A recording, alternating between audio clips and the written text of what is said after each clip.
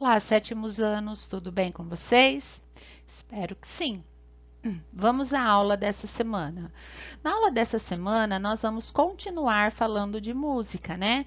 Vamos ver como que a música pode representar os elementos de uma paisagem. Vamos lá?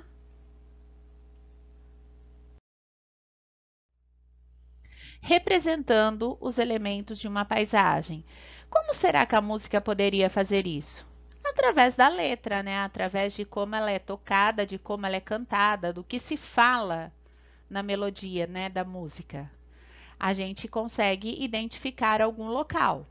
Vamos lá, então. Outro modo de, re, de se relacionar musicalmente com uma paisagem é produzindo uma música inspirada em algum lugar algum tipo de ambiente ou fenômeno da natureza. Você conhece alguma música parecida? Vejamos dois exemplos. Uma música instrumental e uma canção. Música instrumental é aquela em que se utiliza apenas instrumentos, né? Uma orquestra não tem voz, não tem melodia. E uma canção é onde tem a voz. O primeiro exemplo é uma composição instrumental do músico brasileiro Heitor Villa-Lobos.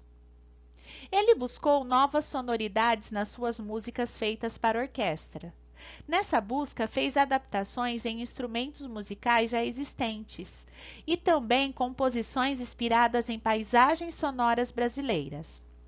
O Trenzinho do Caipira é a quarta parte da composição baquiana brasileira número 2 que compõe a série de nove, nove composições intitulada Baquianas Brasileiras, uma das obras mais conhecidas do artista.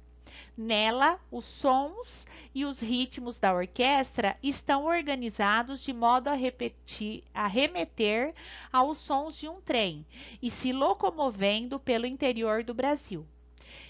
Entre esses sons, os instrumentos de percussão representam e enfatizam os ruídos e o movimento de uma locomotiva de trem. Outros de sopro remetem os seus apitos, enquanto a melodia e a harmonia envolventes nos levam juntos nesse passeio musical. Então, nessa composição de Heitor Villa-Lobos, acredito que vocês já ouviram falar de Heitor Villa-Lobos, né? Um importante compositor brasileiro. É, ele faz ele é regente de orquestras, ele é compositor, muito importante. E ele, nessa música O Trenzinho Caipira, só através de instrumentos, ele faz é, os sons do trem andando, se movimentando pelo interior do Brasil, né? Vamos lá. Vamos ver então, antes de falarmos um pouco mais sobre o trenzinho do caipira, vamos ver o que é melodia e o que é harmonia. A melodia é a parte da música em que, em geral, fica mais facilmente registrada em nossa memória. É a sequência de notas que se destaca quando cantada ou tocada em um instrumento melódico. Então, a melodia é aquela que mais fica guardada na nossa memória, né? E a harmonia é a palavra que usamos para nos referir às notas que vão acontecendo simultaneamente ao longo de uma música e que conduzem o discurso realizado pela melodia. Para exemplificar tudo isso, imagine uma música cantada e acompanhada ao violão. Nesse caso, a melodia é o que se canta e a harmonia inclui o acompanhamento feito pelo violão, quando soam várias notas ao mesmo tempo. Então, a melodia é o que se canta e a harmonia é o que se toca, tá? Este Heitor Villa-Lobos, tá? Ele tá regendo uma orquestra aqui, né? Dá pra, pra ver que ele tá fazendo a regência de uma orquestra. Aqui eu sugiro a vocês que assistam esse vídeo, tá? É, é, o vídeo da Orquestra Sinfônica Brasileira tocando a música O Trenzinho do Caipira. Vocês vão ver que lindo, como é lindo, como é interessante. O endereço é esse aqui, tá? Ou vocês podem também digitar o Trenzinho do Caipira sob regência de, do maestro Roberto Minzuki, tá? Vocês vão ver o vídeo, é lindo, tá? Vale a pena ver e faz parte do conteúdo ministrado na aula. Então, é necessário que vocês vejam.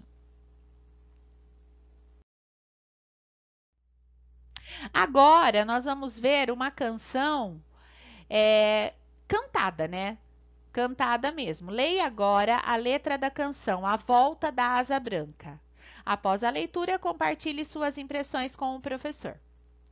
A Volta da Asa Branca. Eu vou fazer a leitura, é, só a leitura, tá? Já faz três noites que pro norte relampeia a asa branca ouvindo o ronco do trovão. Já bateu asas e voltou pro meu sertão. Ai, ai, eu vou me embora, vou cuidar da plantação. A seca fez eu desertar da minha terra, mas felizmente Deus agora se alembrou de mandar chuva para esse sertão sofredor, sertão das mulher séria, dos homem traidor. Rios correndo da cachoeira tão zoando, terra moiada, mato verde, que riqueza. E a asa branca, a tarde canta, que beleza. Ai, ai, o povo alegre, mais alegre a natureza, sentindo a chuva, eu me arre a rescordo de rosinha, a linda flor do meu sertão pernambucano. E se a safra não atrapalhar meus planos, que há o seu vigário, vou casar no fim do ano. Vocês estão vendo? É, a letra, ela é bem caipira, né? Bem, assim, algumas palavras estão escritas até de forma errada. Essa canção é de Luiz Gonzaga. Vocês já ouviram falar de Luiz Gonzaga?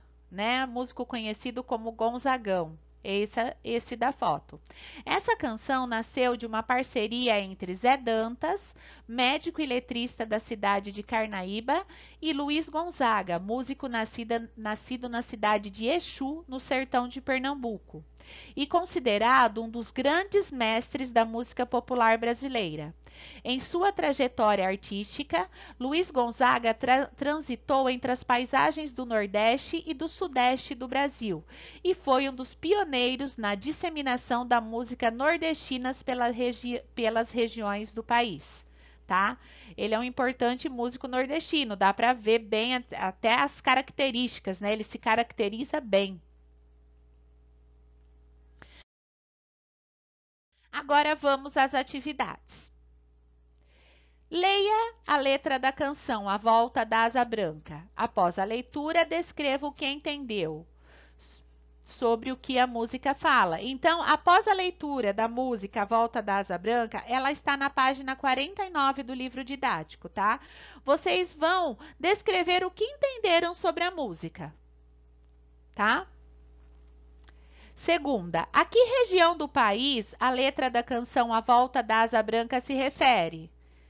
Acabamos de falar anteriormente, né? Terceira, a letra cita características da paisagem, de fenômenos da natureza e de uma ave comum na região na época das chuvas e também do canto desse pássaro. Várias delas fazem referência a aspectos sonoros do ambiente. Você consegue identificar essas citações? Comente. Então, leiam com atenção essa questão e leiam com atenção a música. As três questões, elas são relacionadas à música à volta da asa branca, tá? Leia com atenção e responda. Gênero musical. O que seria um gênero musical? Vamos ver?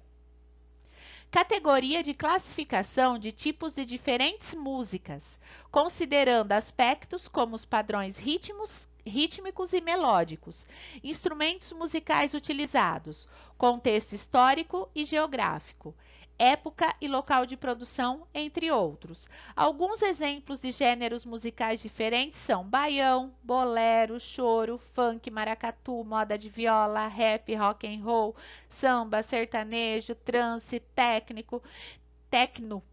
Então, assim, gênero musical é o estilo de música. Existe uma variação imensa de gêneros musicais.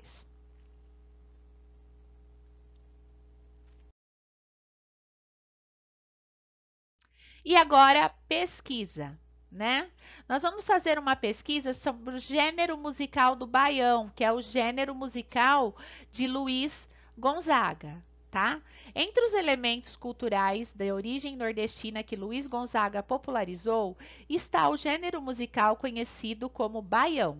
Faça uma pesquisa em livros e na internet sobre esse gênero musical. Então, vocês vão fazer, aqui vocês vão fazer uma pesquisa na internet, em livros ou na internet. A internet fica mais fácil, né? Onde surgiu o baião? Quais são os instrumentos mais utilizados para tocá-lo? Como é o ritmo básico do baião? Que músicas são exemplo desse gênero? Vocês vão fazer a pesquisa na internet e vão responder essas quatro perguntinhas. Para terminar, vocês vão escutar, vocês vão pegar o CD que está no final do que está no final do livro didático e vão ouvir a faixa 2 do CD, que são os padrões ritmos, rítmicos de baião com triângulo e zabumba. Só para conhecimento, tá? É bem interessante, é, o som é bem legal. Escutem a música, tá? Bom trabalho e até a próxima aula.